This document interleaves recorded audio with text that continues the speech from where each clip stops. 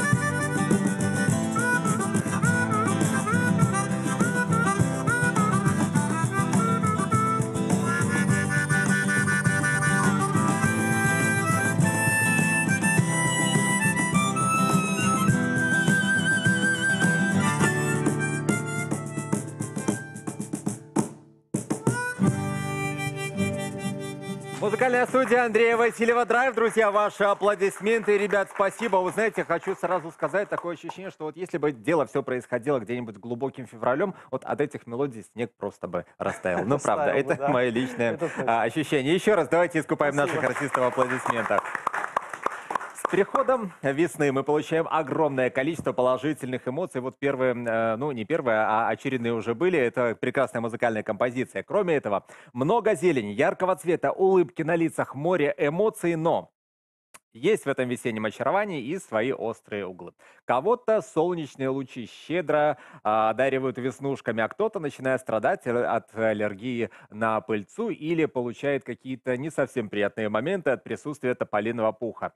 А, Потом с урожаем надо что-то делать, чтобы все выросло согласно, например, лунному календарю. Ну а те, кто свое летне-весеннее путешествие еще не спланировал за зиму, а, надо тоже быстро придумать, куда поехать э, и что посмотреть. Так что сегодня, друзья, посвятим наш этот добрый вечер весенним хлопотам. И я думаю, узнаем все и даже чуть больше получим, как говорится, ответы на все вопросы. Ребят, а с какими проблемами обычно сталкиваетесь весной вы? Андрей, начнем с Ну, тебя. смотря с какой стороны смотреть. Допустим, по работе у нас очень много концертов начинается весной. Начинается много уличных концертов. Потому что погода хорошая, на улице можно играть, выступать. У нас сейчас уже про- прошло много уличных джем-сейшенов. э, ну, много концертов весенних. А, Хорошо. Ну, концерты это великолепно и здорово, но грядки-то уже успел посадить. Да, ну только, конечно, мы такой не, не овощной культуры садим, а у нас, значит, участок, мы любим ландшафтный дизайн. Это, значит, газон, это цветы, это петуни, это очень много всяких интересных растений. Э, Скажи, вот открой секрет. Из цветов и из петуний можно приготовить салат? Ну, нет, конечно. Ну, родители наши садят, конечно, э, овощи. А то, что касается очередных э, весенних хлопот в творческом плане, ну, открываю уже все секреты. Завтра Да, где завтра вас будет можно э, увидеть? замечательное выступление. Джем Сейшн, музыкальная студия Драйв будет принимать участие в Ночь музеев, Международный день Ночь музеев. Приходите, это у нас, значит, э, э, му- музей города Гомеля. А вот сейчас маленький стоп продолжит твои мысли. Друзья, у меня в руках есть прекрасный пригласительный билет на двоих именно на это самое мероприятие, где вы увидите а, Андрея Васильева со всей его прекрасной командой музыкантов. Э, приглаш- Пригласительный билет на мероприятие под названием «А у нас во дворе. Уличная городская культура на протяжении 20 века». И сегодня в рамках международного а, культурно-просветительского проекта «Ночь музеев-2018». Завтра с 18 до 23.00 в Музее истории города Гомеля по адресу Пушкина, 32. Этот пригласительный билет достанется кому-то из вас. Но не просто так, как всегда э, в начале эфира я спешу задать вам вопрос. А вопрос будет у меня такой. Несмотря на то, что их существует более 300 различных типов, большинство людей в мире едят один называемый Кевендиш, о чем же идет речь? Звоните к нам в студию, подключайтесь к нашему разговору, ну и, возможно, кому-то повезет, кто-то станет счастливым обладателем а, этого билета. Друзья, вы тоже можете стать участником программы и обсудить с нами тему весенних хлопот. Какие весенние хлопоты э, а- одолевают вас, какие вам наиболее э, приятные, а какие доставляют ну, э, много мороки. Звоните к нам в студию, пишите к нам в Viber. Вся информация на ваших э, экранах. Буквально через несколько мгновений продолжим нашу программу. Не переключайтесь.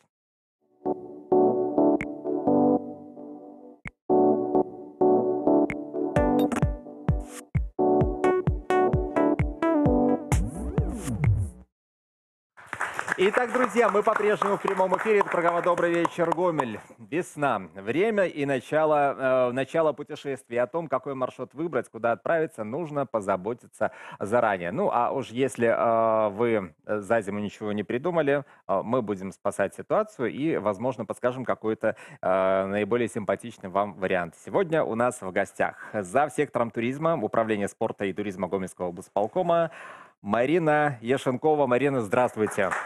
Добрый вечер. Ну, давайте начнем сразу с такого вопроса. Так куда же сегодня отправиться туристам в путешествие по Гомельщине? Э, На этот вопрос я вам отвечу следующим образом. На самом деле, каждый путешественник, приезжающий к нам в область, сможет выбрать отдых совершенно на любой вкус. Я хочу сказать, что в области есть основной турмаршрут, он называется «Золотое кольцо Гомельщины». А, Значит, в него включены наиболее интересные объекты в нашей, э, в нашего региона. Это какие? Ну, ясное дело, что это А, дворец Румянцевых и Паскевичей, А, наш Конечно, прекрасный парк. но кроме, кроме этого, это районные центры, это Чечерск, Лоев, это Карма, это Речица и многие-многие другие. Все из них интересные. Э, на самом деле мы многого не знаем. Думая о том, что мы много всего знаем, на самом деле в этих городах можно посмотреть и подчеркнуть для себя очень много интересного. Тут бы и местным жителям, наверное, гомельчанам не мешало бы сесть в автобус или в свой транспорт и Совершенно проехать верно. по этому пресловутому Золотому кольцу Гомельщины. Конечно. Кроме того, очень много объектов включено в э, историко-культурное наследие Республики Беларусь. И э, это тоже достойно, интересно и на самом деле не займет много времени, но очень будет вам полезно и интересно. Кроме того, в области есть и агроусадьбы. Наши э, хозяева агроусадьб смогут не только вкусно покормить, теп- тепло встретить, но и показать э, интересные обряды, гуляния, много-много всего интересного. А, Здравницы наши готовы не только организовать лечение, отдых, но и, кроме того, насытить ваши досуг, ваши выходные интересной культурной программой. То есть, Поэтому- если я правильно понимаю, есть э, туризм и в классическом виде могут предложить? Конечно, есть виды туризма разные совершенно. Э, Здесь от предпочтений туриста мы можем выбрать э, э, значит, маршрут промышленной направленности, например, посмотреть, э, как все-таки происходит гравировка алмазов на кристалле. Мы можем увидеть э, и э, посмотреть, как все-таки налажено производство комбайнов на Гомсельмаше. Мы можем э, протестировать комбайн значит, на полигоне э, в том числе. Да? То есть это отдых совершенно разный, Хорошо, протестировать комбайн на полигоне. А может ли турист, пожелавший, например, э, сесть за руль этого Мгм. самого комбайна и самолично управлять этим промышленным гигантом? Ну, не без помощи персонала, конечно. То, то есть такая опция тоже А, допустима и да, на самом деле, вот сейчас на Гомсельмаш реализуется большой проект, он называется Гомсельмаш туристический. Там, значит, мы проходим по сборочным цехам, мы смотрим на производство, и да, действительно, мы можем протестировать, мы можем посмотреть и побыть водителем, да. можем. Есть у нас телефонный звонок. Алло, здравствуйте.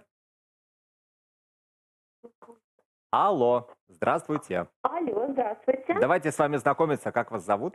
Меня зовут Людмила. Людмила, очень приятно. Ну, если бы меня звали Руслан, я бы, наверное, ответил, что Руслан меня зовут. Но нет. Людмила, откуда вы к нам звоните? Я звоню из, Гомеля. А, Отлично. Ну, какие весенние хлопоты у вас? С чем сталкиваетесь весной? Ну, с весной такие хлопоты. Вот тополиный пух летает, вот такие хлопоты. Мгм. То есть вам он тоже немножко м, доставляет дискомфорт? Совершенно верно. И на работе окно открываешь, он залетает, и дома летает, и по улице преследует. Вот везде. э, обещаю, мы об этом поговорим сегодня вечером. Оставайтесь э, вместе с нами э, на нашем канале. Э, ну, я так понимаю, что... вы Хотела бы хотите- поучаствовать вот в ответе на вопрос. Итак, повторить вам вопрос? Повторить. Итак, вопрос у нас сегодня следующий. Несмотря на то, что их существует более 300 различных типов, большинство людей в мире едят один вид, называемый кевендиш. О чем идет речь? Я думаю, что это банан. Где ваши аплодисменты? Конечно, конечно, это речь идет о банане. Так что, э, Людмила, мы вас поздравляем. Этот пригласительный билет отправляется к вам. А, Побудьте, э, от- побудьте на телефонной связи, наш редактор запишет ваши координаты и расскажет, где и как вы сможете э, забрать этот честно заработанный благодаря бананам пригласительный билет на Ночь музеев. Напомню всем остальным, что э, завтра Ночь музеев состоится по адресу Пушкина э, 32 в Охотничьем домике в Музее истории города Гомеля. Там состоится прекрасное представление, так что все желающие э, приходите. Спасибо вам, Людмила, за участие э, нашей игре. Аплодисменты вам. Марина, все-таки про э, туристические дела хотелось бы продолжить э, разговор. А, наверное, не один я заметил, что на наших улицах и на улицах районных центров все больше и больше иностранной речи, иностранных граждан, тем более с приходом вот а, э, теплых дней. Так ли это?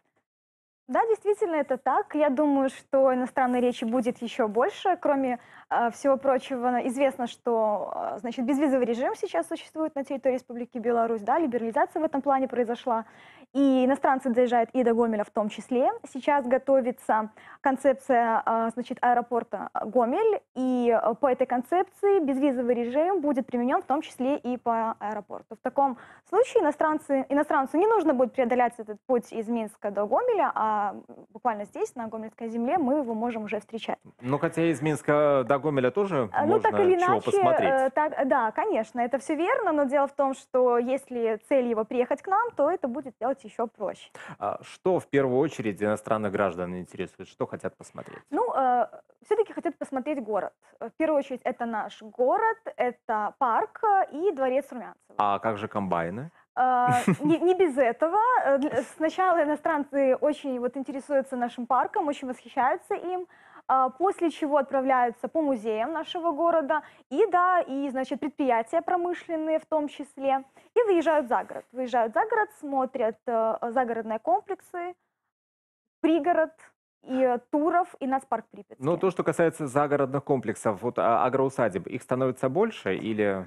А, Скажем так, значит, а, агроусадьб больше не становится, но а, качество оказываемых ими услуг действительно улучшается. Можно говорить о том, что а, значит, в этом году агроусадьбы приняли порядка 35 тысяч человек, и это на самом деле на а, порядка 10 тысяч больше, чем в прошлом году. То есть а, качество оказываемых услуг действительно становится лучше. Больше заключено договоров, больше принято туристов, качественные услуги оказаны. Хорошо, ну а сами гомельчане, насколько активно подходят к вам, звонят, э, заходят, интересуются, куда поехать, что посмотреть, где побывать, вырвав... Даже вот в черте города далеко не все знают, сколько у Мгм. нас э, в городе всего интересного находится. А выехать по э, области, а выехать по стране. Вот, Э, Хочу сказать, что, знаете, э, интересоваться историей города, родного края, области, республики, это становится модным. Э, Хочу сказать, что достаточно большое количество э, людей именно хотят по стране. И э, здесь действительно статистика тому подтверждение. Вот по итогам прошлого года 23 тысячи э, человек было организовано услуг по э, путешествиям внутреннего туризма.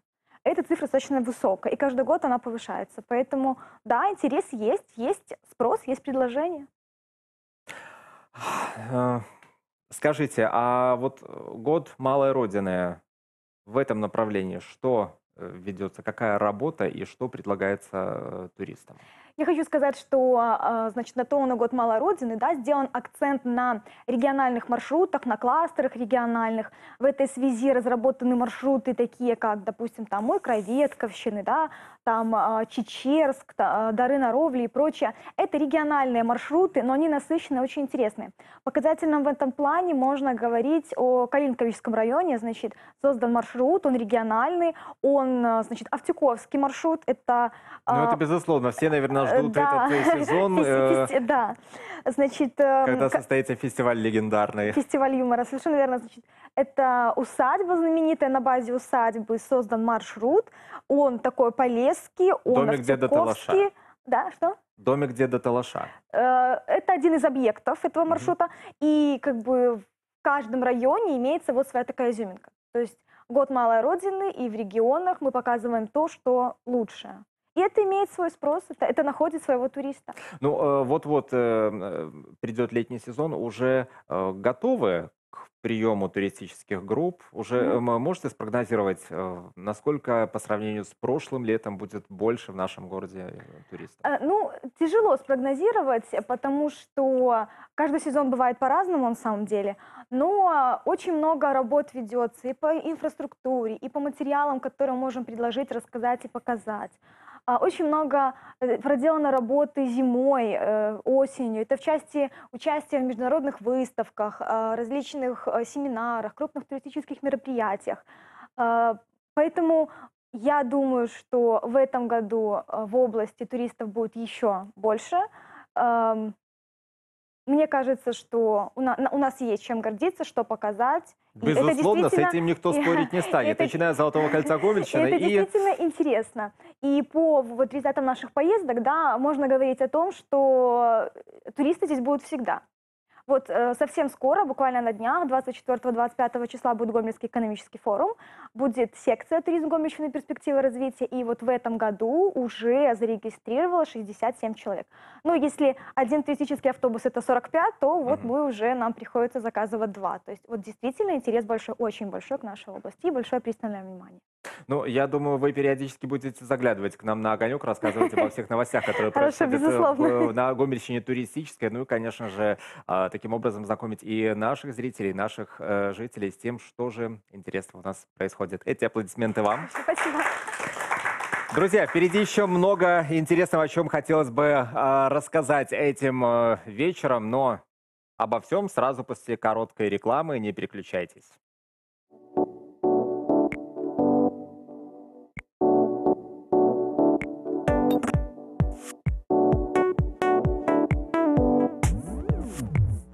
Друзья, весна в самом разгаре, а это значит, что вокруг все цветет и радует глаз. Но, как выяснилось, далеко не всем. Для э, кого-то именно этот период вызывает множество проблем. Заложенность носа, слезоточивость а, от пыльцы и запаха цветов – это лишь незначительное, незначительное проявление аллергической реакции. И этот вопрос сегодня среди весенних хлопот и весенних проблем тоже будем разбирать. У нас сегодня в гостях э, главный аллерголог э, области. Можно я вас так представлю? Оскар Маркович Гехт. Ва- Эти аплодисменты вам. Так за что же весна устраивает аллергикам, по большому-то счету, такое испытание? Ну, это не наказание, это так, судьба такая. Потому что, да, потому что заболеть может любой человек. Но считается, что это заложено генетически. И сейчас заболеет, это называется, болезнь называется полиноз. От слова полин – пыльца. И различают три сезона цветения в нашей вот, климатической зоне. Это весна, когда цветут деревья. Больше всего это береза, ольха, лещина. Это конец марта, апрель и половину мая. Затем на- наступает период цветения луговых трав, которые все путают Это с вот цветением сейчас, тополя. Этот период, да? Тополь как раз не вызывает аллергию. Ну вот э, и э, телезрительница наша Людмила тоже эм, сетовала на то, что Да. тополь доставляет какие-то проблемы. э, хлопоты. пыление тополя где-то около двух недель.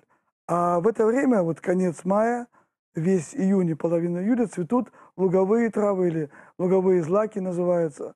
Это все сено, которое мы знаем.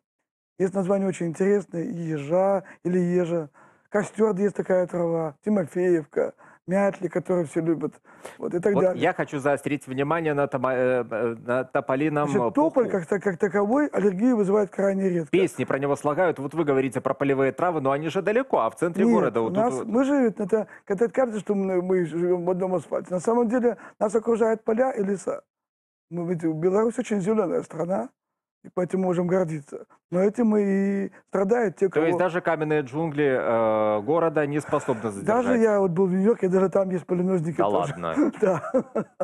А, По статистике много ли Значит, людей? дело в том, что статистики реальные мы никогда не получим, потому что далеко не все обращаются. Если жители города обращаются чаще, то жители села намного реже.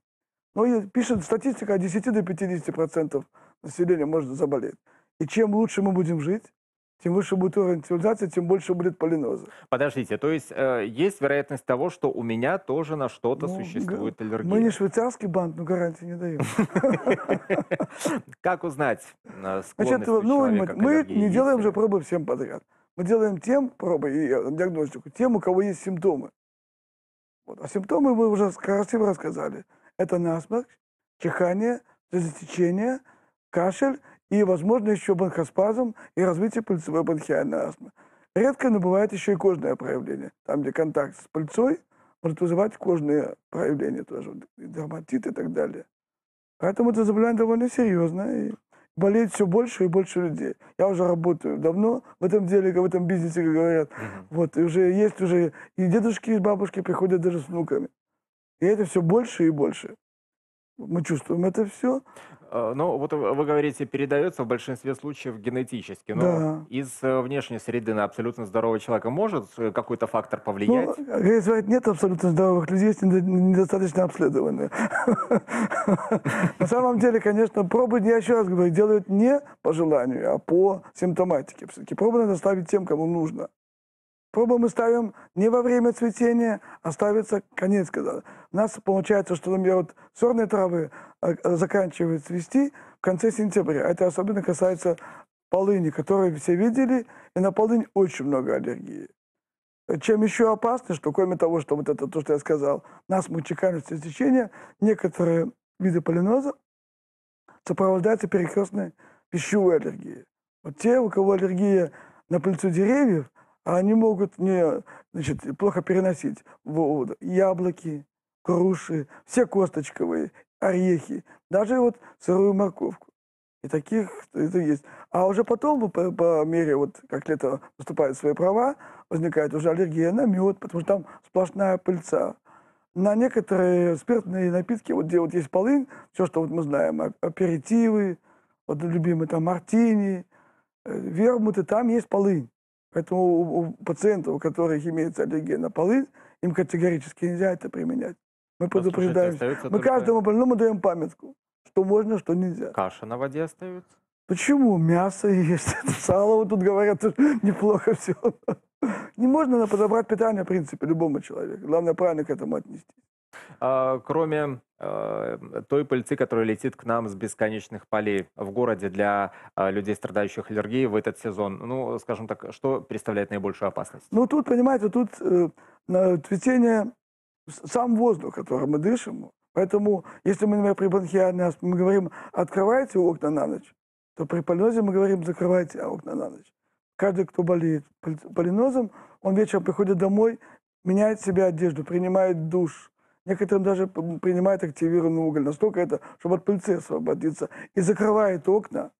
И даже некоторые есть виды фильтров специальных для кондиционеров, чтобы пыльца в дом не попадала. Это ведь серьезно. Много детей болеет. Просто я не дет- детский аллерголог, я взрослый. Но мы знаем, тем, кто приходит к нам, очень много детей болеют уже тоже эти- этим заболеванием. Ну, вот скажите честно, вот если есть проблема, ее, безусловно, надо и решать, эм, леч- от аллергии вылечиться можно, Нет, или это, это- уже карма, э, Это, значит, крест на... если честно говорить, то вылечиться нельзя. Потому что клетки памяти были и будут всегда, всю жизнь. Вопрос просто, чтобы симптомы были менее интенсивны. Поэтому есть два основных вида лечения. Есть так называемое лечение причины, это лечение этим же. Если человека вызывает аллергия полынь, то можно этой же полынью вводить его. Есть в уколах, таблетках, есть капли специально под язык. тем, где это, это самый лучший способ, потому что это действует на причину заболевания. А есть второй способ, это симптоматическое. То, что все делают, те, которые к нам обращаются довольно поздно. Это капли в нос, капли в глаза и таблетки принимают от аллергии. Желательно, конечно, все-таки принимать все это с участием для начала участкового доктора, а потом мы с этим с удовольствием подключимся и поможем, конечно. О чем нельзя в такие периоды э, забывать, выходя из дома, ну или даже присутствуя дома, все-таки пыль домашняя тоже может Нет, ну, это спровоцировать. домашняя пыль это немножко другое, скажем. Заболевание это заболевание круглогодичное. А полинез это сезонное заболевание. Поэтому каждый поступает как может. У кого-то есть большие деньги, он может уехать на этот сезон куда-нибудь. Или на север глубоко, или глубоко на юг. Например, если уже в пустыню уезжает, там практически ничего не цветет.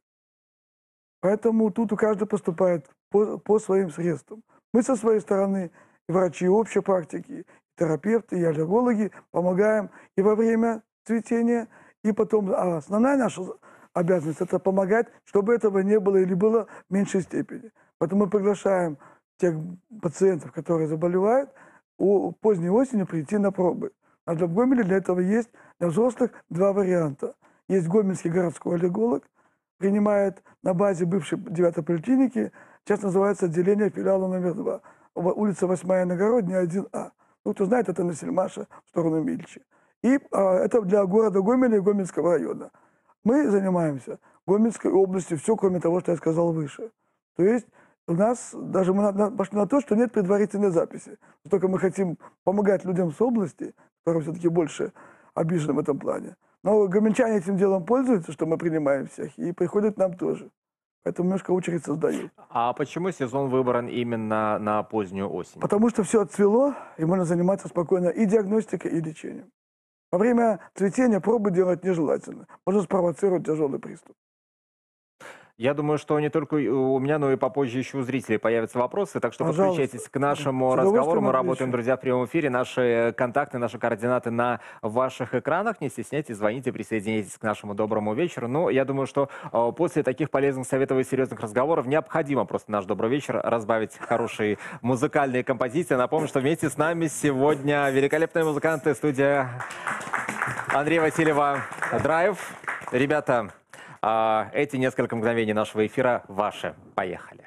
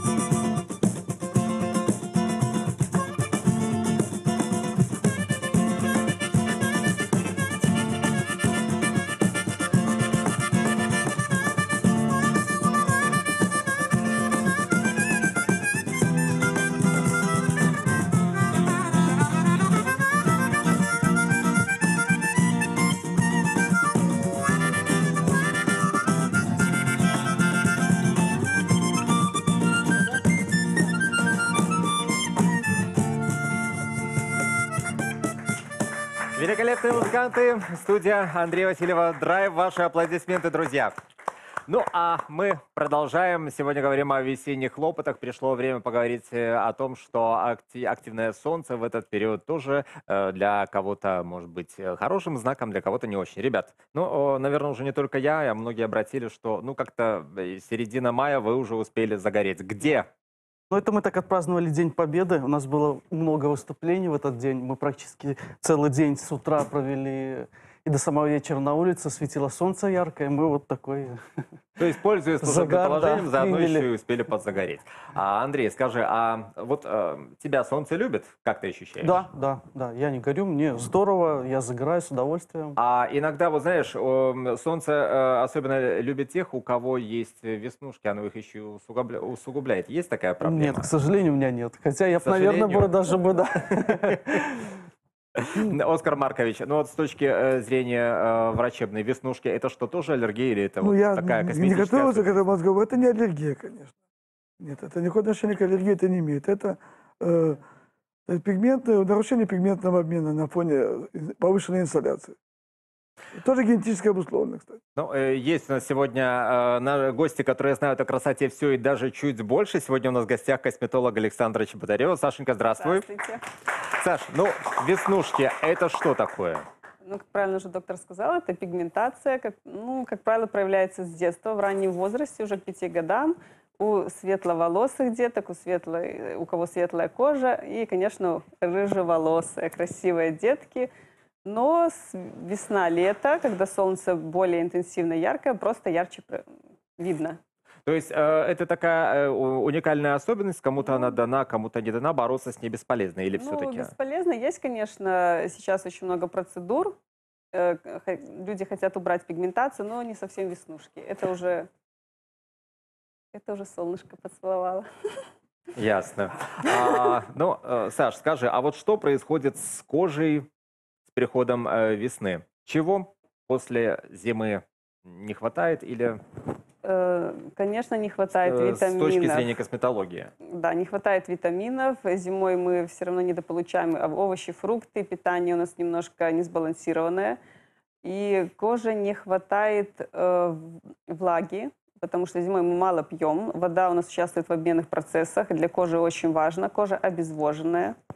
Многие приходят и говорят, что у меня сухая кожа, но на самом деле просто спрашивают, человек очень мало пьет воды. Просто воды. А, Ну, как-то надо с этой ситуацией справляться. И э, мужчинам, и женщинам. Кстати, э, мужская и женская кожа, насколько я знаю, она имеет какие-то отличия. Можешь пояснить, какие, вот как Э, косметолог? Женская кожа, конечно, более чувствительная, более тонкая, нежная кожа и требует более тщательного ухода. Но мужская не меньше. Мужчины должны заботиться о своей коже.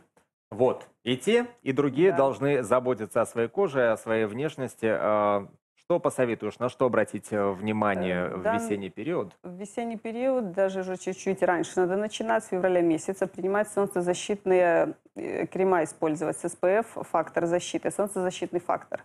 Обычно на дневных кремах, кто девушки пользуются декоративной косметикой, всегда указано SPF защита, если есть. На это надо обратить внимание. И также солнцезащитные фильтры должны быть. И наносить. Особенно вот когда ребята сказали день на солнце, загорели, чтобы не возникла уже пигментация, та, которую при- придется уже устранять. Косметический такой дефект. Спасибо за советы. Эти аплодисменты тебе. Но э, сегодня ты не только пришла с полезными советами, но еще и с полезными действиями. Сегодня э, вот у нас уже здесь все необходимо подготовлено. И я так понимаю, что какие-то процедуры, мастер-класс э, с комментариями и рассказом о том, что происходит с кожей в это время и какова от этого польза, э, будут сегодня. Мы сегодня покажем то, что небольшую процедуру можно... Давай, мы тебя поддержим Хорошо. и твою модель поддержим аплодисментами, а- и пока что переместимся на эту часть. Значит, мы сегодня поговорим о том, что можно приготовить для ухода за кожей в домашних условиях. Все мы любим скрабы. Э, Значит, в домашних условиях скраб у нас применяется для удаления ороговевших частичек нашей кожи верхнего слоя, чтобы кожа была у нас гладкая, красивая. Значит, э, что мы можем использовать? В домашних условиях все мы любим кофе. Э, Значит, кофе мы, когда завариваем, Мгм. у нас остается всегда немножечко... такой- Которые все мы Да, нещадно выбрасываем. выбрасываем. Но не все выбрасывают. Все любят э, использовать его как скраб. Чтобы у нас получился такой вкусный, хороший, красивый скраб, можно добавить меда. Э, это придаст нам такой однородной массы. Можно использовать хорошо в бане, в сауне, когда кожа уже распаренная, будет больше эффект. Сегодня мы покажем немножко на руки, а, чтобы небольшой участок у нас нанести. Э, Значит, Мы смешиваем кофе с медом, любое количество, в зависимости, какой участок кожи мы хотим э, нанести на какой участок. Смешали кофе и мед. Э, Ручки у нас, допустим, если мы на кожу рук, То есть два ингредиента вполне достаточно Вполне для того, чтобы достаточно. получилось, можно получилось добавить косметическое средство. Арома масла, например. Если нет аллергии, если мы знаем, да, на ароматические масла. Немножко нанесли. Вот он Оскар такой. Маркович, а на ароматические масла тоже возможно какая-то может быть, аллергия? конечно. Да. Каждый раз узнаю все больше и больше. Да. Предварительно модель нашей ручки вымыла, то есть мы наносим на чистую кожу. И можем легкими массажными движениями делать такой легкий массаж. Если мы наносим на лицо, то есть делаем по массажным линиям очень аккуратно. Потому что на лице кожка очень нежная. Вот, и можно потом посмотреть, какая у нас будет отлич- отличие да, кожи. Будет приятный запах, как ощущение. Приятно. Вот. Ра- Расслабляюще. Также в домашних условиях у нас часто используют кубики льда. Для... Кстати, Да. вот э, мед, э, отработанный кофе, это все хорошо и прекрасно. Но Да. у нас э, весенний сезон, весенняя пора, и совсем скоро на грядках начнут появляться первые, а, Огурцы. э, первые огурцы, Огурцы. первая петрушка, первые, ну, какие-то э, фрукты, овощи. Возможно ли э, это все с грядки прямо использовать э, вот именно в рецептах красоты самодельных домашних? Ну, все знают, что огурчики у нас идут как увлажняющие, да, мы кусочек отрезаем, протираем личкой. Естественно, не забываем, что на очищенную кожу. Не так, что мы на даче поработали, огурец, и... потому что, да, мы должны убрать загрязнение, пыль. Э, Также очень хорошо э, собирать травы, ну, например, мята, будет как тонизирующий идти. Можно заваривать, можно вместе, например, с зеленым чаем. И замораживать маленькие да, контейнеры кубиком да, с утра протирать лицо. Будет очень красивый цвет лица. Если у кого-то личико красное, будет суживаться сосудики.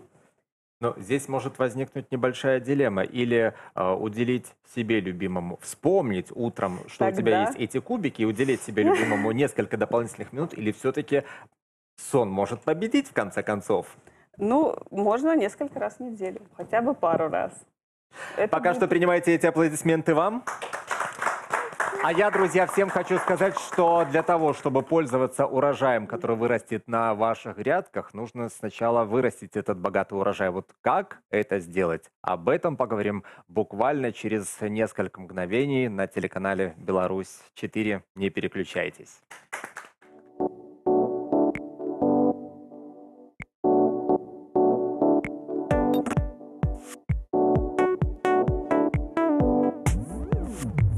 Друзья, мы снова в прямом эфире. Это программа «Добрый вечер. Гомель» на телеканале «Беларусь-4». Говорим мы сегодня о весенних хлопотах, а их, как выясняется, превеликое множество. Нужно и э, после зимы себя в порядок привести, и туристический маршрут продумать. И если у кого-то есть аллергия на какие-то, э, на пыльцу, на овощи, фрукты, от этого тоже надо как-то себя оградить.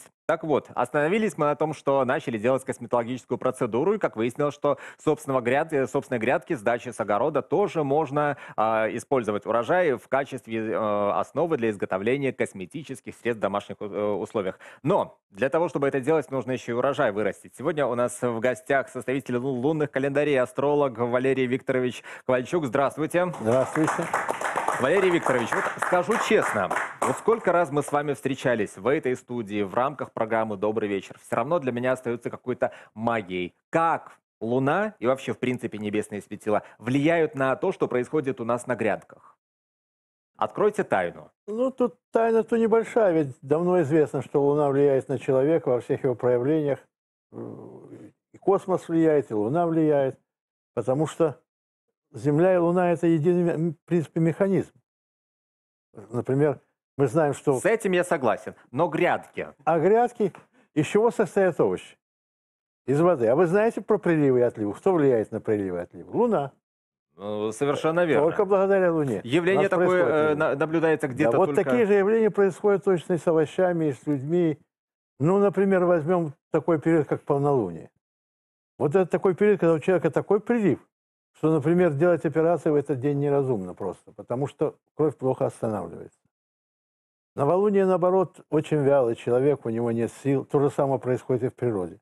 Поэтому, например, почему не рекомендую сеять семена в, в новолуние? Они будут, могут не прорасти, они слабенькие.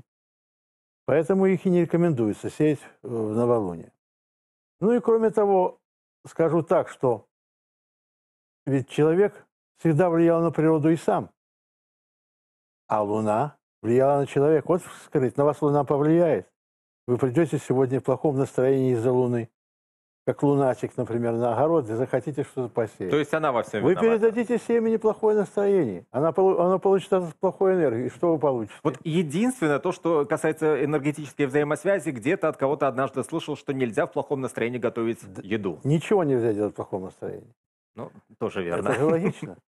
А, но все дело в том, что растение любое, любое семечко – это живой организм. Он просто спит до определенного времени. А когда вы берете его в руки, когда вы опускаете в землю, вот тут начинается его взаим- взаимодействие с космосом. Он получает от вас какую-то энергию, потом получит ее из космоса. Ну, скажем так, что разные, на разные растения влияет по-разному. Ну, космос. хорошо, давайте вернемся к грядкам нынешнего Давайте сезона. вернемся к рядкам нынешнего сезона. А, урожай чего ждать э, э, этим летом? Вообще этим этот год есть разные календари. Например, есть такой календарь Септенера называется. Вот э, по этому календарю мы находимся под знаком Венеры. А Венера это очень хороший, хорошая планета, которая да- дарит Земле очень много чего хорошего. Поэтому ожидается очень неплохой урожай. Прежде всего, это тех вот овощей, которых сегодня вы говорили. То, что хорошо будет потом, например, заниматься чем? Клубничкой помазать лицо, потому что клубника в этом должна быть хорошей. То же самое касается всех тыквенных овощей. Это, Я, я думаю, что сейчас многие наши зрители улыбнулись, а некоторые даже и подпрыгнули. А, ну, сегодня клубника Друзья, стоит... урожай клубники будет хорошим в этом году. Сегодня клубника стоит дороговато, поэтому сейчас я бы не рекомендовал еще начинать мазаться клубникой. Далее, огурцы, вот эти маски огуречные. Огурцы в этом году родят. Можно же не только огурцами, можно любыми тыквенными растениями. В принципе, есть такое растение крюкнек, не знаю, знаете ли о нем. Вот, это замечательная вещь для маски на лице. Кроме того, и бобовые, и зерновые должны в этом году уродить. Вот, э, коль мы заговорили уже и про урожай, и про косметические моменты, Оскар Маркович, э, что скажете э, как врач? Ну, дело в том, что из того, что я сказал ранее, если у человека есть аллергия на пыльцу, то всем то, что я вот перечислил, то, у кого вызывает аллергию, пользоваться кремами с пыльцой – это нехорошо. Может быть местная реакция и общая тоже. Поэтому человек, который полинозом болеет, он знает, что мед нежелательно в любом проявлении, и местном тоже. Также и косметические препараты, содержащие пыльцу растений. Хорошо, а как тогда быть? Ну, а что другое? Да, но, на какие Маркович, клубника тоже влияет. Как Нет, На какие сегменты обратить внимание? Если клубника, у человека пищевая аллергия на клубнику, Да. то, конечно, он не может мазать себе Безусловно. лицо, конечно. Надо все. Лицо это такая штука, что она один раз дана, поэтому надо к ней очень осторожно относиться. Вот. Эти слова достойны аплодисментов. Но я хотел бы обратить внимание вот на что. Что в этом году обязательно нужно пользоваться целебными травами. Этот год просто замечательный для них. Они обладают такими свойствами, этому, как ни в какой год. То же самое касается овощей и фруктов. Они наделены целебными свойствами. Поэтому ешьте побольше овощей, фруктов и пейте лекарственные травы. Ну вот смотрите, э, я услышал то, что ну, важно для меня. Это клубника, урожай хороший, и э, огурцы. Давайте продолжим о хорошем. Ну, лекарственные травы, это нужно идти э, в луга, в леса, там где-то собирать. а Почему? вот- Есть специальная плантация. Например, лично я выращиваю на огороде. Да травы. ладно? Я вам даже назову, какие травы в этом году наиболее э, целебные. Это, например, шалфей. Это, например, лаванда. У меня, кстати, это все растет на огороде. Это валериана. Липа. Это не трава, конечно, но это целебное растение. Значит, когда цветет липа, цветы липы собирают, вы знаете, используют. Мелисса, мята. То есть все это ожидать большой урожай в этом Это году. урожай будет нормально, но главное, что очень большие целебные свойства. Вот это самое важное для человека. Потому что и бывает, что такие, такие годы, когда растения не несут такие целебные свойства, и смысл их употреблять ну, очень такой невелик. А этот год, поэтому нужно их и заготовить еще. А обычно у них э, срок хранения год, не больше. Поэтому и на следующий год тоже будет действовать. Э, Скажите, а распространяются ли эти э, правила, например, э, на декоративные растения? Вот э, у Андрея на даче растет петуния. Значит, скажу вам насчет петунии тоже. Андрей, ты э, говоришь, Венера, что еще растет? вы, наверное, знаете, Ой, да много чего растет. Лаванда в том числе в растет. том числе много. голубенькие цветы, красивые, полезные растения. Венера – это что? Богиня красоты. Поэтому все цветы в этом году будут, не все, но большинство. Во всяком случае, петуния точно. Причем э, очень э, будут красивые гиацинты в этом году. Ирисы. Пионы обещают в этом году прекрасное цветение. Поэтому я думаю, что все декоративные растения в этом году будут очень хорошие. Вот форзиция в этом году цвела, если вы знаете, что это такое, это кусты желтые. Наверное, многие видели в городе их. Вот они в этом году прекрасно цвели. Ожидается чубушник, который мы ошибочно называем жасмином, будет хорошо цвести. Так что ждите красоты.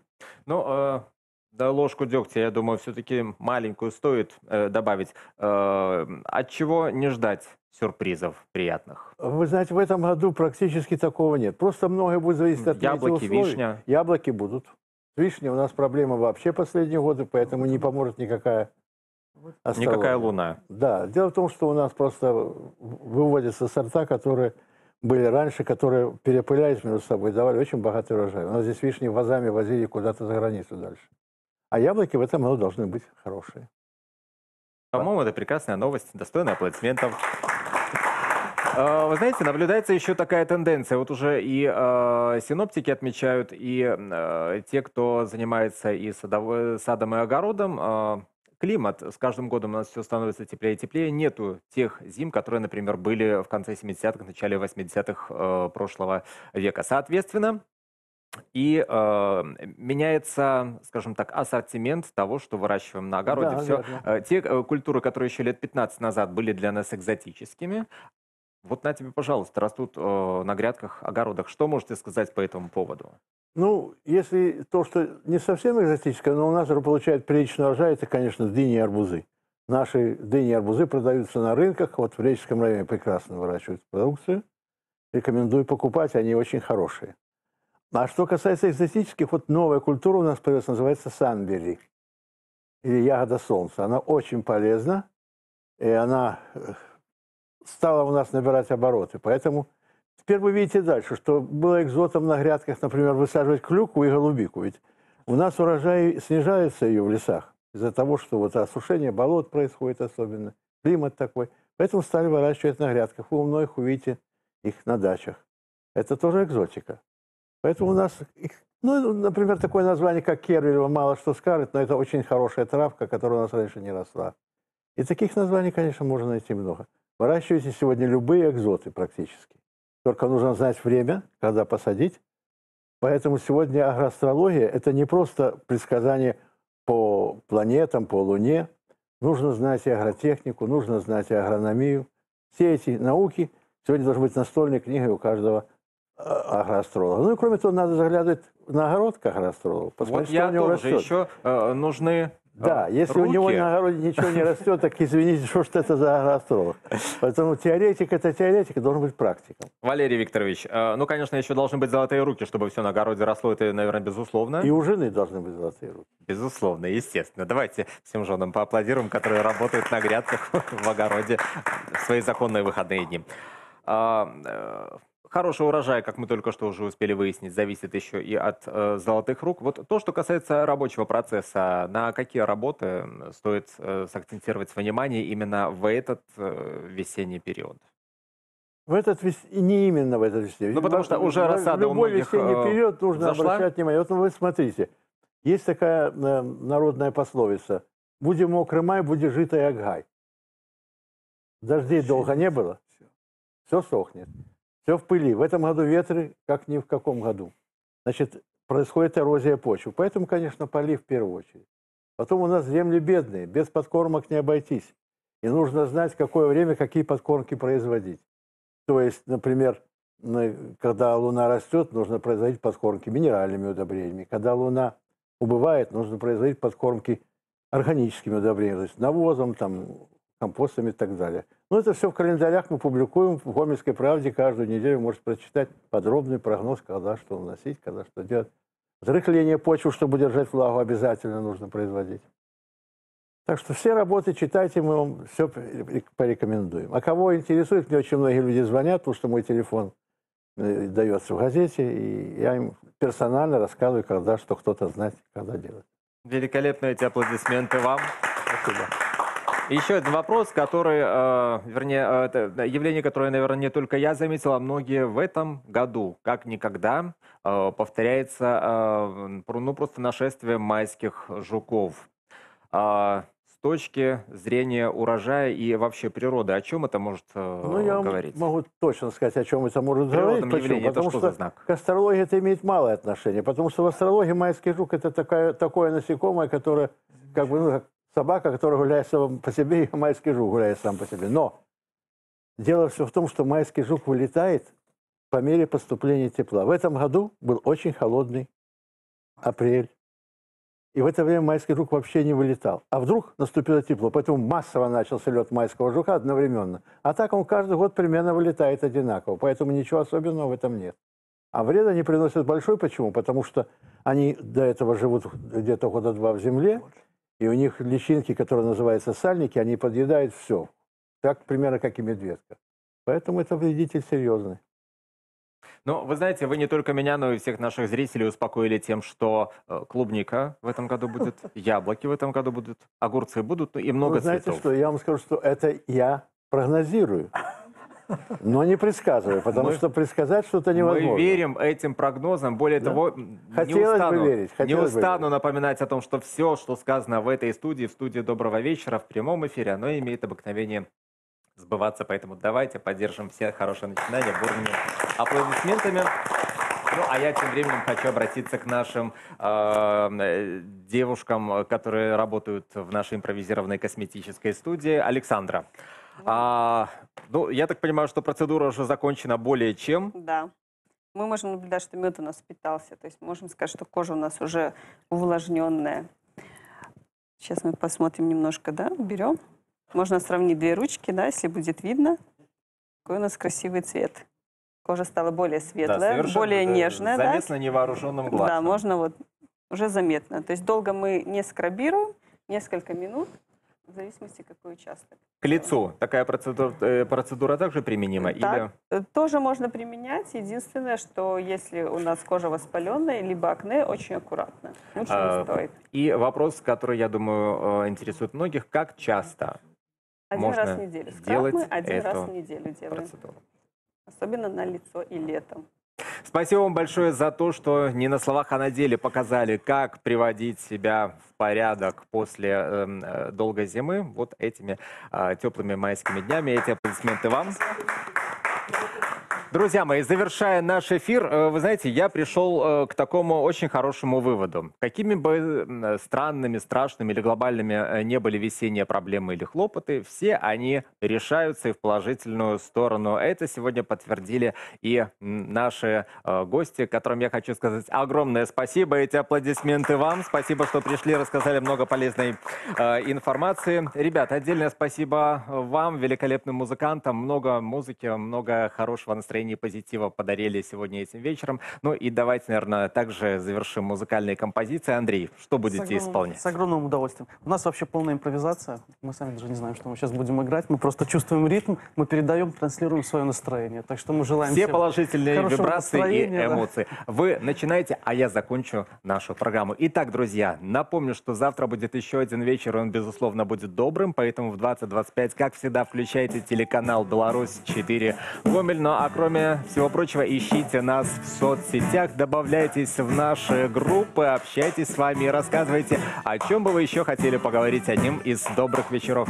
А на сегодня все. Удачи вам. Пока. Студия Драйв нас в прямом эфире.